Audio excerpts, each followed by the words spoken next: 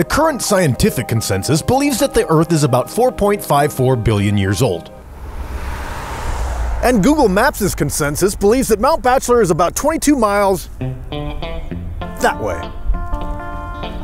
For this little that I know, I'm going to drive 22 miles to Mount Bachelor and metaphorically go back in time 4.54 billion years. I'm now going to drive from the parking lot at Mount Bachelor, where the Earth has just formed, and then drive forward in time back to Bend. We'll stop along the way to reveal some highlights of Earth's history. Okay, quick disclaimer. Now, all distances and times are approximate. And while I know every religion on Earth has its own Earth's creation story, for this particular exercise, I'm going to use science. Shalom, shalom, and namaste.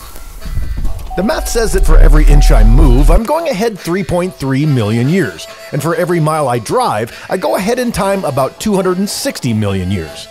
Because 4.54 billion divided by 22 is 260,363,636. But who's counting? All right, first stop is dead ahead. We're 2.7 miles from Mount Bachelor and 4 billion years back in time. This is when the first evidence of oceans show up and the Earth's crust begins to cool. Next up, we're heading just down the geological road of about 200 million years to the Sunriver turnoff. This is where life begins, but it doesn't walk and it doesn't talk. They are simple, single celled organisms like bacteria.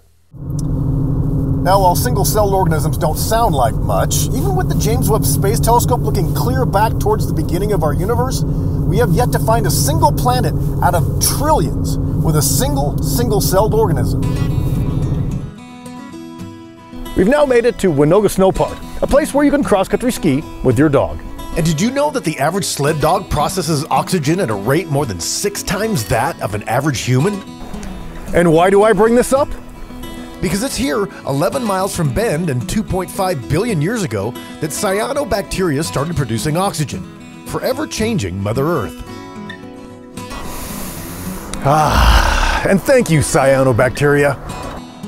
At 6.8 miles from Bend and roughly a billion years down the road, we see the first complex cells with nuclei appear. We're now about three miles from Bend. We're on the outskirts of Widgi Creek Golf Course and Good Dog Dog Park, about 600 million years from present day. This is when the Cambrian explosion happened, in which life rapidly diversified and most of the major animal groups that we know of emerged. Oh, but not dogs. Dogs are believed to have appeared about 30,000 years before present day, which is still quite a ways down the road. We're now less than a mile from Bend, or about 66 million years, and the masters of the Earth are dinosaurs, until a gigantic space rock slammed into the Earth off the Yucatan Peninsula and put an end to their reign. Oh, one little piece of trivia that most people don't think about is that dinosaurs ruled the Earth for 150 million years, or about 60 times longer than humans thus far. Okay, this is where it gets weird. Now, in order to get to the point in our timeline where we first see humans, I need to get less than an inch away from this sign in order to reach present day. But even at one inch, we're still about 2.5 million years in the past. It's at 8 thousandths of an inch, or right about here, about 10,000 years ago, that human civilization begins to flourish. Now, if all of this makes you feel small, that's great. Trust me, as somebody who has studied the enormity of the universe his entire life, the more you begin to feel small, your troubles follow suit. And hey, you might as well enjoy the ride. For Central Oregon Daily News, I'm weather dork, space geek, and science nerd, Scott Elnes.